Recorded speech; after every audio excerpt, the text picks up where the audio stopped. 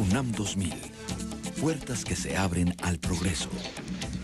Cada día, 72 nuevos profesionistas se titulan en la UNAM. Desde que reanudamos las clases, se han recibido más de 8.000 alumnos que hoy están al servicio de la sociedad mexicana. Esta es nuestra universidad trabajando. Nuestra universidad viva, Universidad Nacional Autónoma de México. Grande por su gente, fuerte por su espíritu.